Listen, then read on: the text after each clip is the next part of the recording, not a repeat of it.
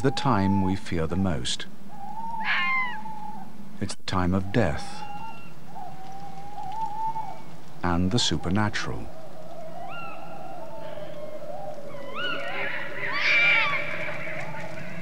But what is that cry in the dark? What's actually out there?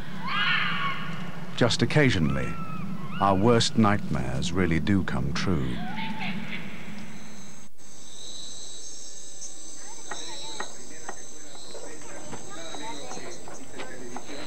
Another balmy tropical nightfall.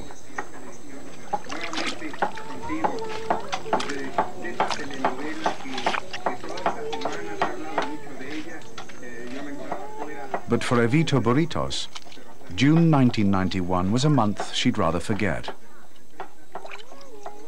For Evitu, her husband and her two small children were attacked by one of nature's legendary nightmares.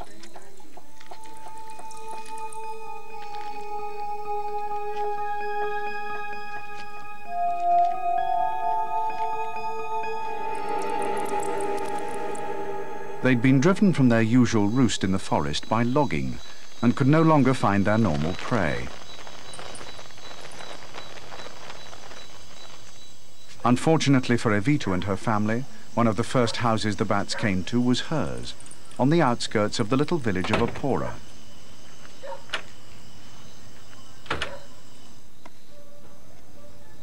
These were no ordinary bats.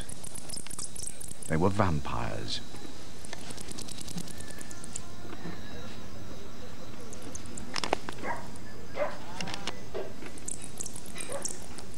Worst of all, one of the first rooms they came to was that of Evitu's six-month-old daughter, Ivanusa.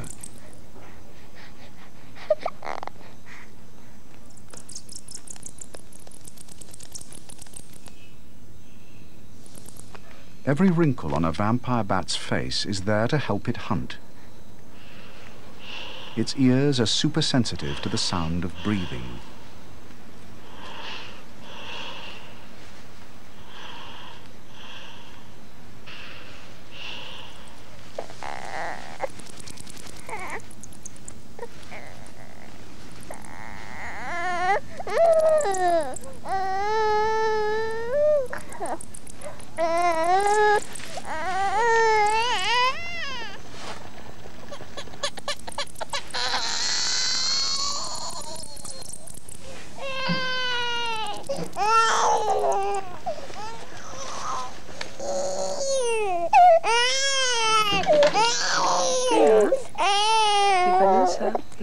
The dim light of her oil lamp, Evitu mistook the creatures scuttling on the floor for mice.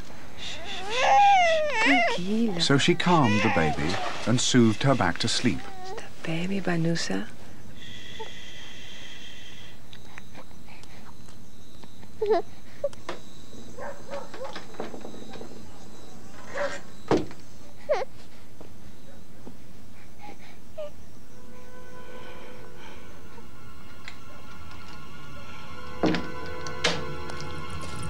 But the vampires were starving. They closed in on their quarry.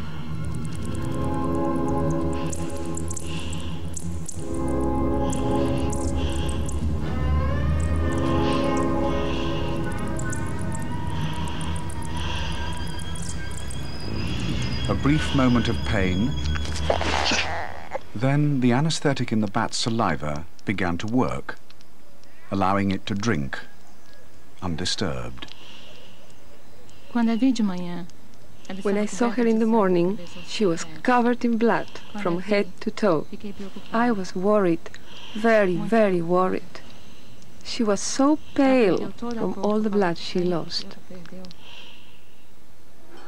Happily, Ivanusa recovered. Today, she shows no sign of physical harm. She's still quite a nervous child, but I don't know if it's because of the bats.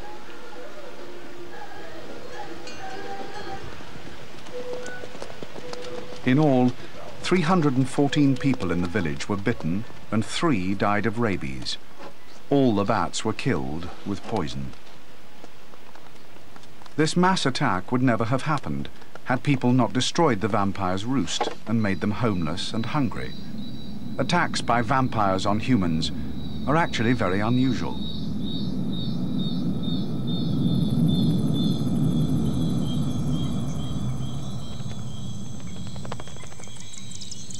There are around 900 species of bats, and none of them, apart from the vampire, can do us any harm. Yet many people find bats one of the most frightening creatures of the night.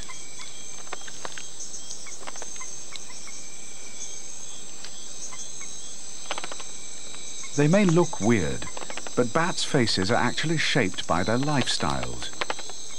Fruit and nectar feeding bats like these don't need advanced echolocating systems. After all, you don't have to chase fruit. They actually look rather endearing.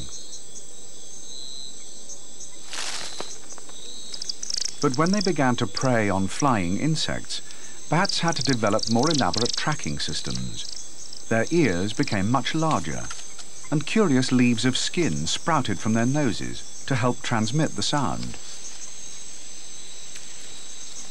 As their prey became more difficult to catch, the bats had to push their echolocating technology to the limits, and their faces became more and more bizarre.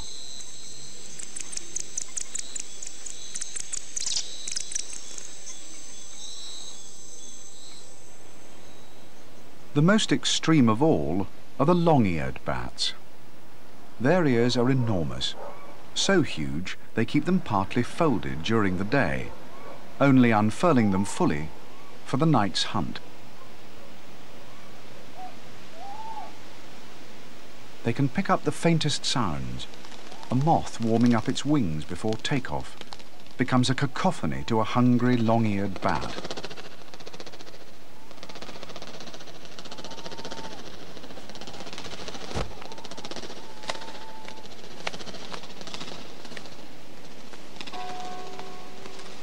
When hunting, long-eared bats don't give away their position with blasts of echolocating squeaks.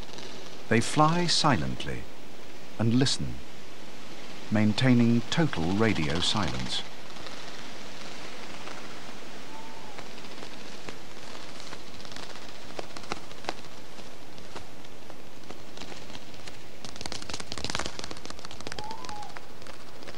But even the most sophisticated systems aren't infallible. If the moth stops warming up, the bat loses it completely, even if it's only centimeters away.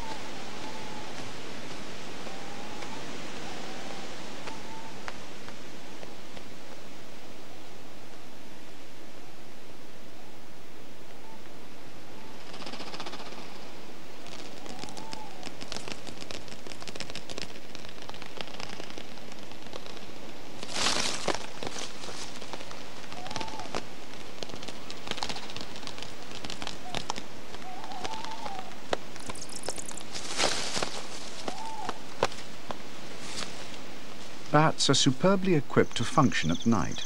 We are not. As the light fades, we lose our most important sense, sight. And that can be fatal.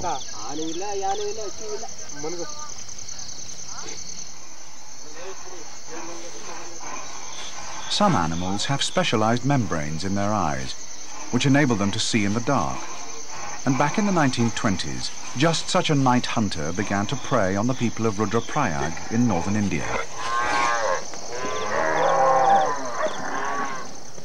In an eight-year reign of terror, 125 people were killed by one of the most infamous man-eaters that ever lived. Yep, yep, yep. Yep. As night fell, the entire population would hurry home and barricade themselves in their houses. But barricades alone couldn't stop the man-eater.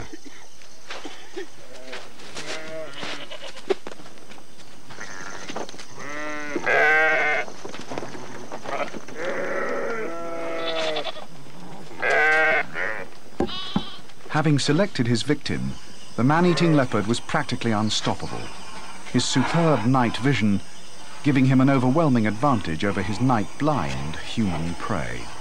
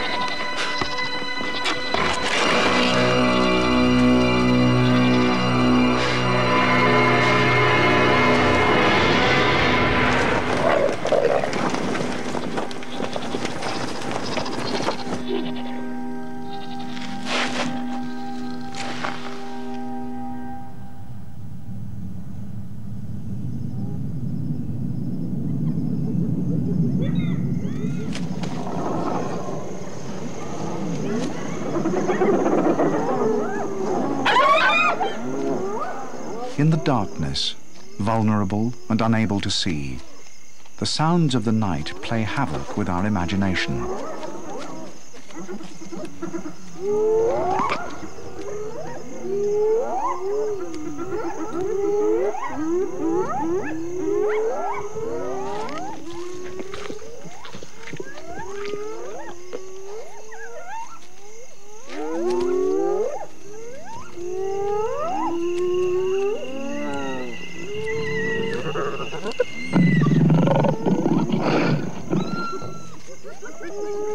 Hyenas. In Africa, wherever there is death, they seem to appear as if by magic.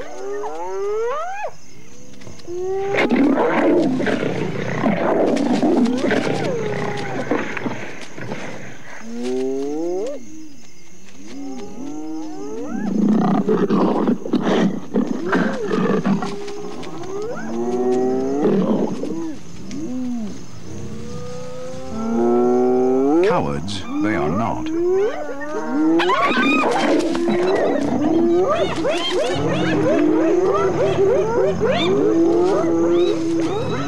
Hyenas can drive a lion from its kill, and they're superbly equipped to crunch their way through flesh and solid bone. With their eerie calls and ghoulish habits, it's little wonder the hyena has a central place in African black magic. It's said witches control them and ride through the night on their sloping backs.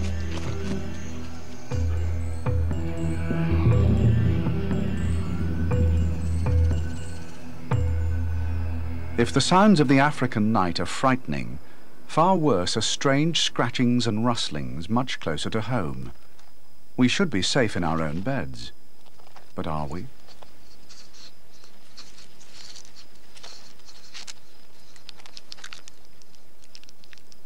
Rats usually live in packs, so if you see one, there may be a hundred in residence, hidden away during the day, scuttling out to forage in the quiet of the night. They are dirty eaters and carry disease.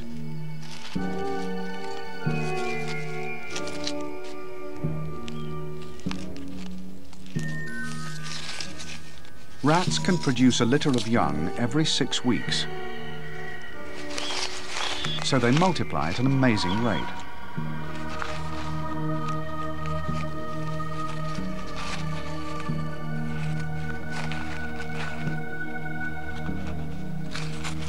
But far worse are the creatures that come into our homes to prey on rats and mice.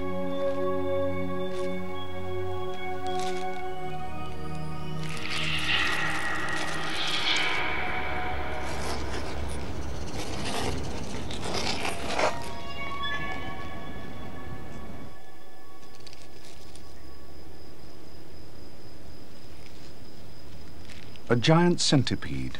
This one is nearly a foot long. It can kill a rat with a single bite from its poison claws.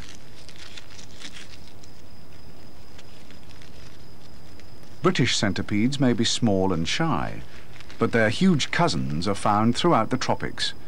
And though they don't usually attack people, accidents can happen.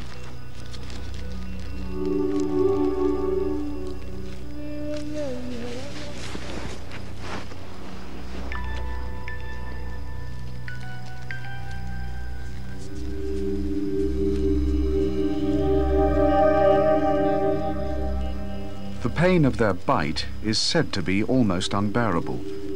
People have been known to plunge their arms into boiling water to deaden it.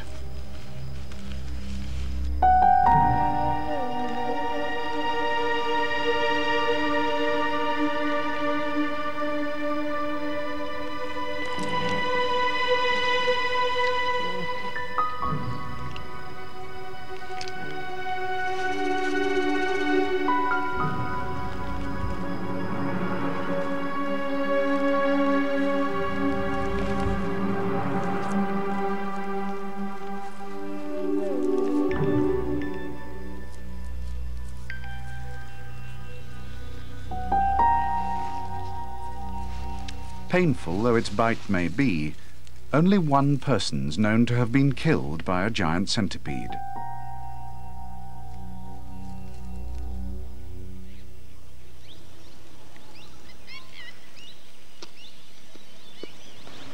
Here in southern India, having rats and mice in your house can attract a really lethal lodger.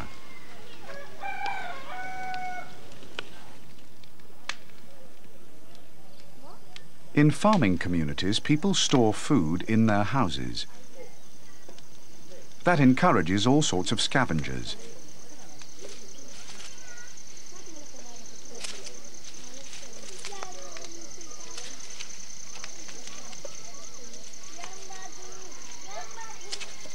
People traditionally sleep on the floor.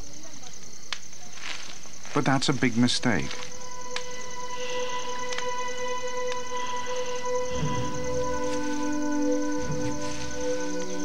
The krait. 15 times more toxic than a cobra. It's the most venomous snake in India. If anything moves close to the krait's head when it's hunting, it triggers a lightning strike. Usually, the movement is a gecko or a mouse. But sometimes it's not.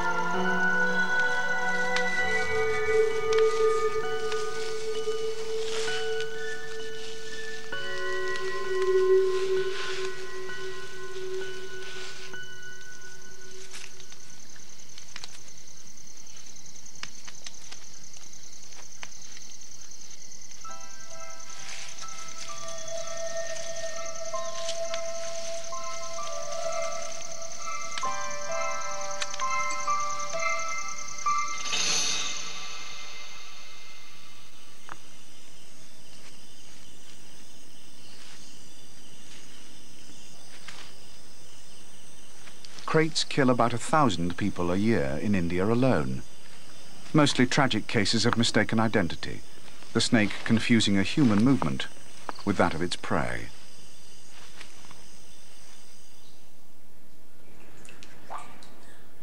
But there's one creature that would never make such a mistake. Its ability to sense movement is almost uncanny.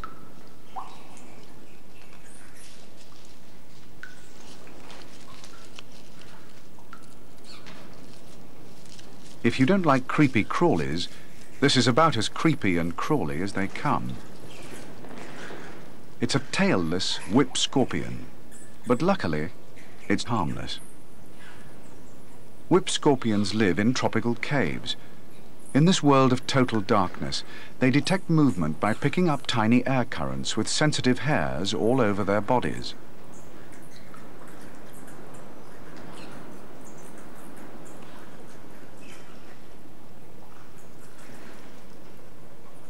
Those huge feelers can sense the infinitesimal air movement created by a cave cricket, if it so much as twitches.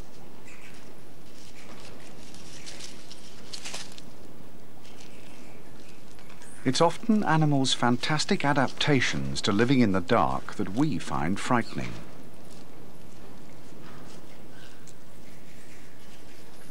The weirder they look, the more frightening they become.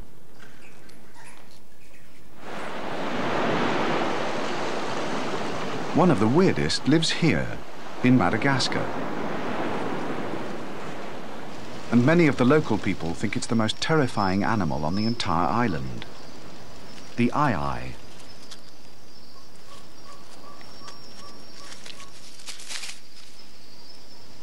Superb night vision.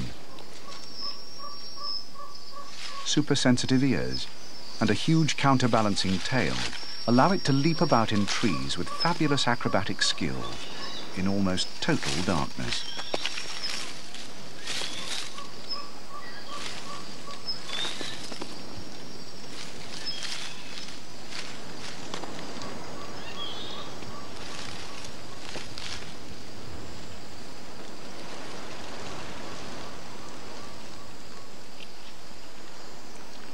Most bizarre of all its incredibly thin, elongated middle finger, which it uses to hook insect larvae from their tunnels in rotting wood.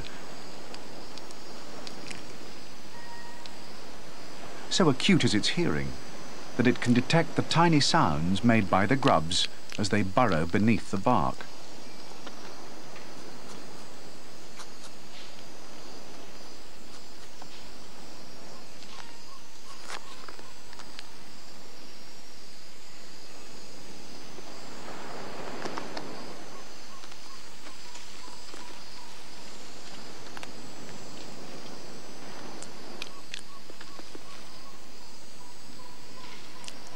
With its goblin-like appearance, the aye-aye has acquired legendary status as an evil spirit. But it's totally harmless.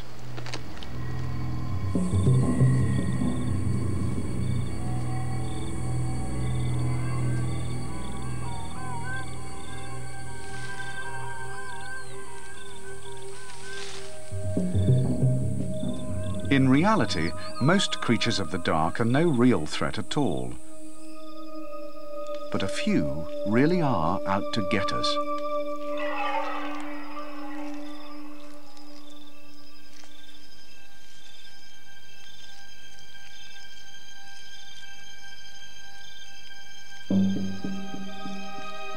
This is perhaps one of nature's most grisly nightmares, the floor maggot.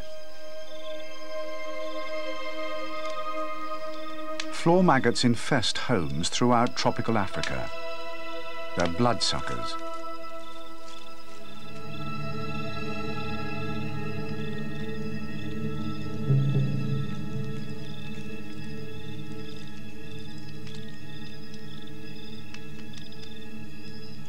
They're very sensitive to the carbon dioxide in our breath and close in on their victims by following it to its source.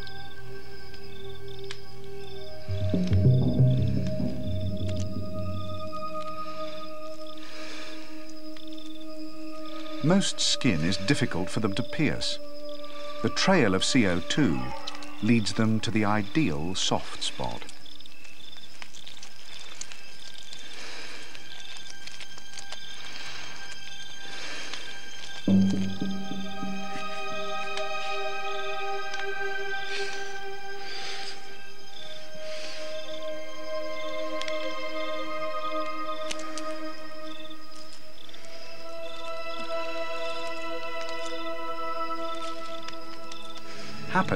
Most of us will never come across floor maggots. and can sleep safely in our beds. And even these gruesome creatures aren't actually dangerous.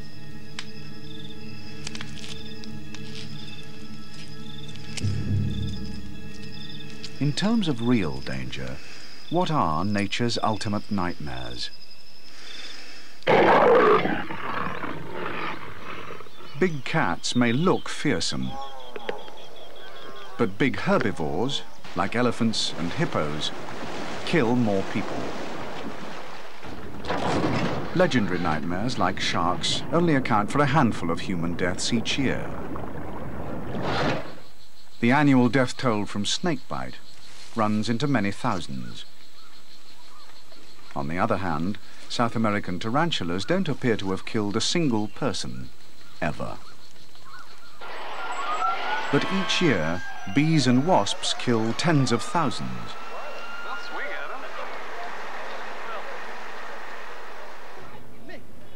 The death toll is small in proportion to the fear most nightmares of nature generate. But there's one creature that is a significant killer, accounting for one to two million deaths each year.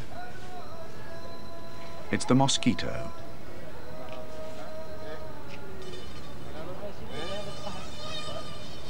It's not the insect itself that kills you, it's the malaria some species carry.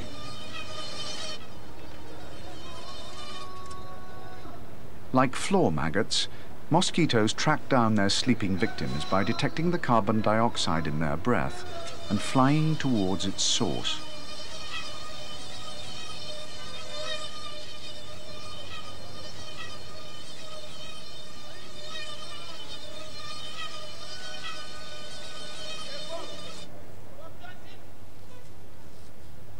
When they bite, they inject saliva to keep the blood flowing and that saliva carries the malarial parasite.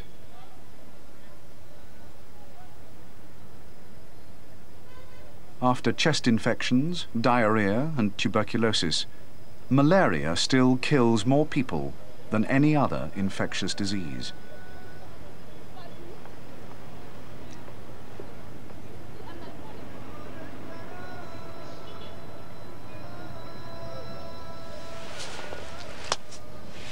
It's been estimated that since the Stone Age, leaving out wars, mosquito-borne malaria has killed half the people that have ever lived.